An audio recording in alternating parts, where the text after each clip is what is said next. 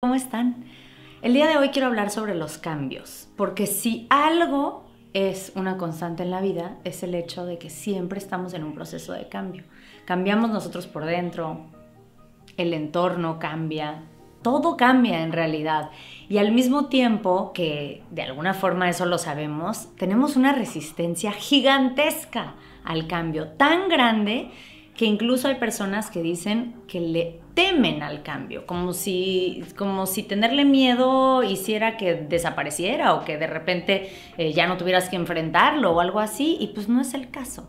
Entonces, em, quería hablar tantito sobre eso, sobre cómo si todo está en constante movimiento, ¿no? Si todo es como fluido, aunque a veces no se sienta fluido, aunque a veces se sienta más como una ola gigantesca, pero si todo está fluyendo todo el tiempo y estamos en constante cambio, evolución y movimiento, si te resistes a eso y si te pones en una postura así muy, yo no quiero cambiar, yo quiero que todo sea exactamente igual todo el tiempo, mi cuerpo, mi relación de pareja, mi maternidad, mi trabajo, todo quiero que se quede así, eh, eventualmente te vas a romper o te vas a decepcionar o te vas a deprimir porque así no funciona la vida. Entonces funciona mucho mejor em, estar ligeramente flexible, o bueno, muy flexible, y también como irte anticipando, ir sintiendo cuando el cambio se aproxima. ¿Y eso cómo funciona?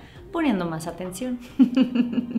Sucede muy seguido, ¿no? Que, que la gente dice, es que quiero un cambio, pero no sé si ya estoy lista para ese cambio.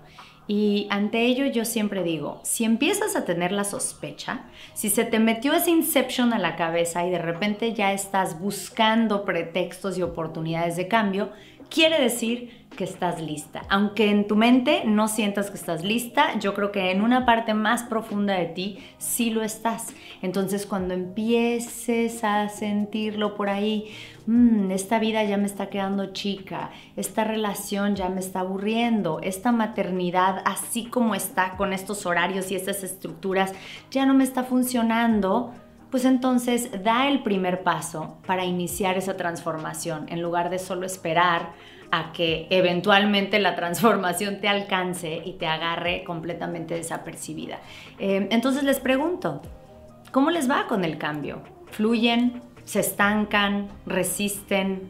¿Cómo lo hacen ustedes? Las leo.